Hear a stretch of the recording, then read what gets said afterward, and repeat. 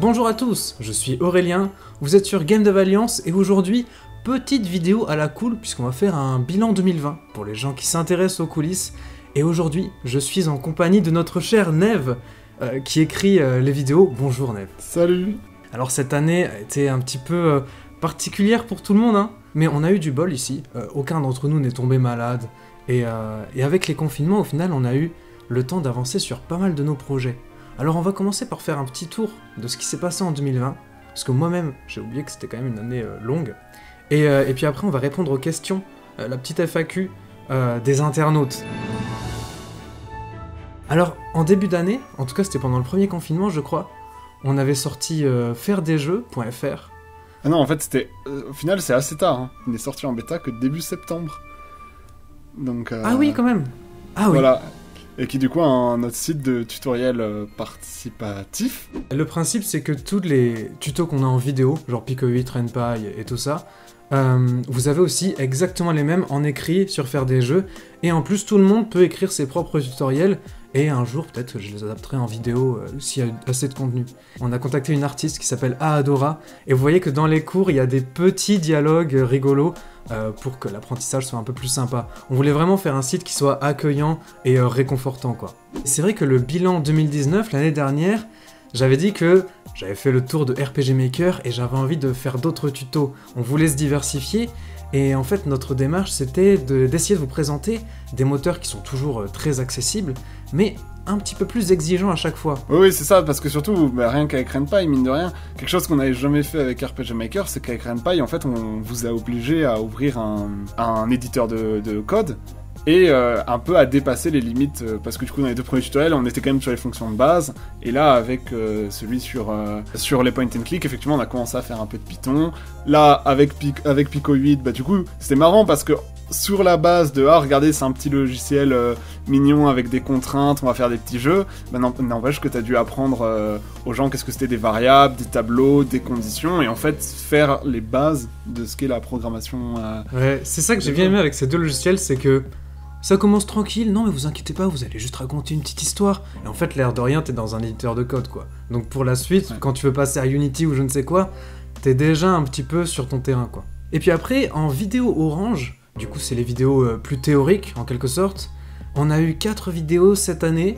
Euh, on a eu choisir son moteur en 2020 et euh, peut-on faire des jeux sans programmer, qui étaient les, vidéos très concrètes. Et alors sans surprise, c'est les sujets concrets qui vous ont intéressé le plus et qui ont eu le plus de vues. ouais mais c'est pas oui c'est pas très étonnant parce que c'est également elle dont on se sert le plus euh, en fait nous-mêmes sur Discord et c'est de là qu'elles étaient venues en fait tout simplement quand on discute avec euh, des débutants euh, sur le Discord, on se dit ah mais là ça fait quand même 50 fois que je réponds à la même question. Euh, bah par exemple je sais pas, euh, c'est quoi Est-ce que je dois utiliser Unity ou Unreal Et à force de ça on se dit purée il faut qu'on le fasse en vidéo. Et ben étrangement bah c'est toujours ces vidéos là qu'on utilise tout le temps sur le Discord qui au final vous euh, vous, vous plaisent le plus. Donc euh, je pense qu'on va continuer. Et en plus ce qui est bien c'est que normalement bah plus on va répondre à vos questions, plus ça va devenir de plus en plus pointu et technique. Donc ça va nous permettre d'avancer tous ensemble et on a déjà peut-être quelques petites idées pour, euh, pour la suite. D'ailleurs, nous aussi, on a progressé en faisant ces vidéos. Avec l'argent des abonnés, finalement, grâce à vos dons et tout ça, euh, j'ai pu m'acheter un petit prompteur. Il faut encore que j'arrive à le maîtriser. Mais franchement, ça améliore de ouf le tournage. Parce qu'avant, dès qu'on voulait tourner une vidéo, en fait, il fallait que j'ai le texte à côté, euh, que j'apprenne la phrase par cœur, que je la dise à la caméra. Ça prenait 50 ans. Alors que là, je peux réciter une vidéo en 20 minutes et c'est génial. Oui, puis ça t'a aussi permis de gagner du temps en montage. Du coup, ça se voit un peu sur la vidéo écologique. que Du coup, il y a un peu plus de, euh, de toi qui parle. Du coup, non seulement ça réduit le nombre d'illustrations que t'as à mettre, mais en plus, du coup, t'as pas plein de petits morceaux à mettre les uns après les autres. T'as une grande, euh, un grand Ouais, cœur. il y a moins de remplissage à faire euh, parce qu'on peut pas mettre ma tête, quoi, c'est ça. Et puis, on s'est aussi mis à traiter des sujets un petit peu plus sérieux, un petit peu plus avancés, on va dire. Euh, L'année dernière, du coup, c'était avec euh, la réforme des retraites. Et euh, d'ailleurs, c'était une, une vidéo pleine de nouveautés parce que je crois que c'était la première vidéo Facecam aussi. Et euh, du coup, elle était encore un petit peu douteuse, mais on s'est amélioré au fur et à mesure. Mais ça nous a vraiment plu et ça nous a permis de tester pas mal de choses. Par exemple, c'était aussi la, la première vidéo sur Facebook, je crois. Effectivement, on avait crop la vidéo, je crois, dans un format 1.1 pour que ça colle à Facebook. Ouais. Et on l'avait posté sur Facebook, là où elle a... ça avait pas mal euh, marché quand même. Bon, finalement, c'est pas une... quelque chose qu'on a refait, mais je pense que c'était aussi un peu l'idée de tester des trucs et puis après garder des choses, garder d'autres choses. Peut-être ce qu'on peut euh, un peu reprocher à cette vidéo, c'est que du coup, elle s'est, vu qu'elle était vraiment pour le coup d'actualité, euh, elle s'est un peu périmée un peu rapidement. Elle est toujours Ouais. intéressante à regarder aujourd'hui si vous n'avez aucune idée de ce qui s'est passé. euh, à, à ce moment-là, mais en fait aujourd'hui elle n'est plus vraie parce qu'il y a eu des évolutions euh, bien évidemment. Mais du coup là on a fait un- une seconde en fait vidéo, c'est celle sur peut-on jouer aux jeux vidéo ou peut-on faire des jeux vidéo et être écolo qui est sorti très récemment. Et là aussi on a testé de nouvelles choses, donc déjà ton fabuleux prompteur, on a testé des nouvelles, des nouvelles choses aussi, toi, enfin toi tu t'es amusé à tester de nouvelles choses côté montage. Ouais, on est parti Euh, sur un style graphique un petit peu plus différent, un petit peu plus euh, journal pro. Euh, J'ai bien aimé ça. Et surtout après on a, on a fait un, un petit live Twitch ensemble. Et oui, voilà, on a fait le petit débrief et débat en répondant à vos questions. Alors, en fait, finalement, c'était marrant de faire des lives. D'ailleurs, il y a pas longtemps, tu nous as préparé euh, un petit live euh, revue de presse de l'actualité du mois, et ça, c'était vraiment cool aussi. ça va devenir un petit peu un rendez-vous mensuel. On va le refaire chaque mois pour comme ça, en fait, tous les mois, eh ben, vous aurez un peu un- une lecture un peu accélérée de l'actu game dev, pas de l'actu jeu vidéo dont on entend parler, et, mais de l'actu un peu du monde du game dev. D'ailleurs, vous pouvez aller trouver le replay, euh, le replay sur. Voilà, même pour ceux qui voient pas les lives, il y aura toujours les replays, vous allez sur l'accueil de la chaîne, vous descendez un petit peu et vous pourrez pas les rater, quoi. Alors, déjà, on avait une première question où les gens se demandaient euh, qui se cache derrière l'équipe de GDA en fait? Qui sont les gens derrière? Et c'est pour ça un peu aussi que c'est bien qu'on fasse cette vidéo à deux, même si on n'est pas que tous les deux. Déjà, peut-être présente-toi un petit peu, quelle est ta place dans GDA Je m'appelle Nev, et en fait, euh, je. Sur cette chaîne YouTube, en fait, notamment, j'aide Aurélien à écrire euh, les vidéos. Généralement, j'écris les premiers jets, etc. Et aussi, à côté de ça, j'aide, du coup, qu'on va présenter Erika sur le développement des sites. Euh, parce qu'à côté, en fait, à côté de GDA, dans la vraie vie, je suis euh, développeur web euh, dans l'immobilier. Erika, du coup, c'est notre développeuse web et aussi du bot Discord où il y a les challenges de la semaine, ce genre de trucs. Et c'est aussi une ancienne développeuse. Elle a fait un jeu sur Steam qui s'appelle Cinnarun que vous pouvez aller voir. Il y a Nolwenn qui est un peu moins présente ces derniers temps, car elle nous aidait surtout à l'époque où on envisageait de toucher le public anglophone. Parce qu'en fait, c'est une ancienne étudiante en anglais.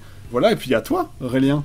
quand même. oui, je suis votre modeste serviteur finalement. Non, mais du coup, moi je fais le tournage des vidéos une fois qu'on a revu toute l'écriture avec Neve, et puis le montage surtout. Et puis, euh, comme je suis le chef, euh, quand les gens se chamaillent, c'est moi qui tranche, quoi, bien sûr. Euh, du coup, moi j'écris beaucoup les tutos. C'est ma spécialité, je pense. Donc je fais pas mal de tutos sur euh, J'écris pas mal de pages sur le wiki, ce genre de trucs. Et aujourd'hui, sinon dans la vie, je suis en fac d'anglais. Je suis encore étudiant. Et ensuite, j'aimerais poursuivre un diplôme dans la pédagogie, devenir formateur ou un métier comme ça.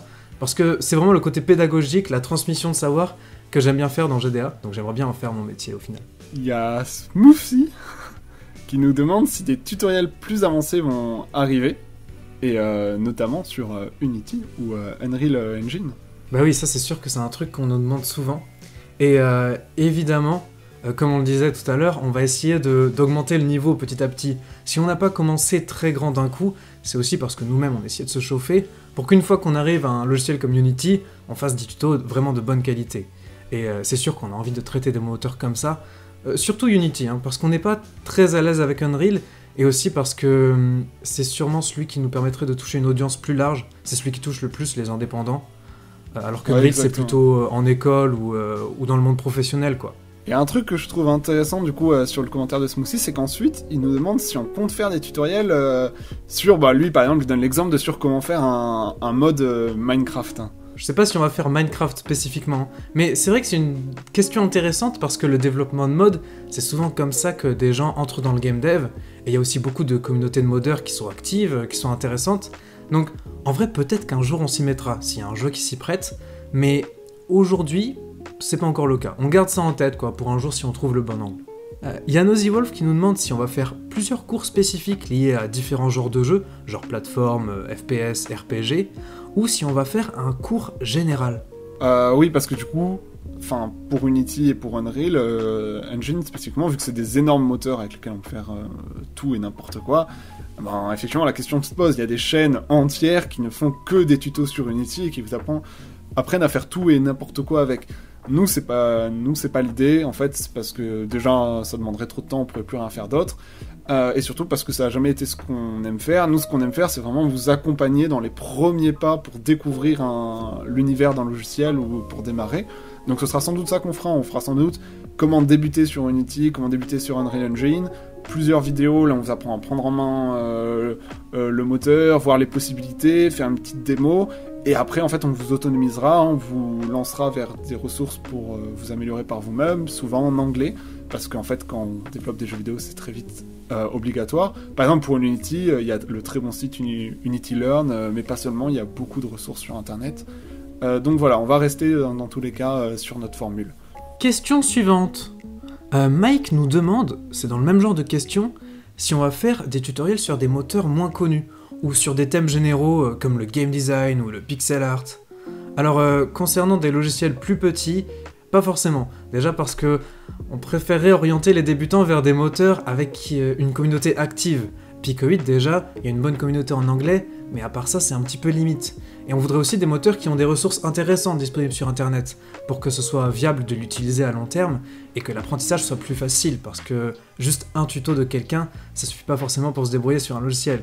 Euh, sur les sujets peut-être plus généraux aussi que tu mentionnes, euh, par exemple le pixel art. En fait, ça dépend parce qu'il y a certaines de ces, de ces vidéos qui vont rentrer plus dans des vidéos orange, du coup plus théoriques, euh, voilà, et d'autres qui seront effectivement très vidéos tuto en bleu, par exemple bah, pour le pixel art ou sur un logiciel de pixel art précis. D'ailleurs, en fait, ça rentrerait aussi sur le site de fairedesjeux.fr. Sur fairedesjeux.fr, on pourrait, il y a déjà actuellement un petit début de tutoriel sur Krita, qui est un logiciel pour faire du pixel art. Donc voilà, en fonction du thème et de la forme, on verra, mais c'est effectivement quelque chose euh, qu'on réfléchit.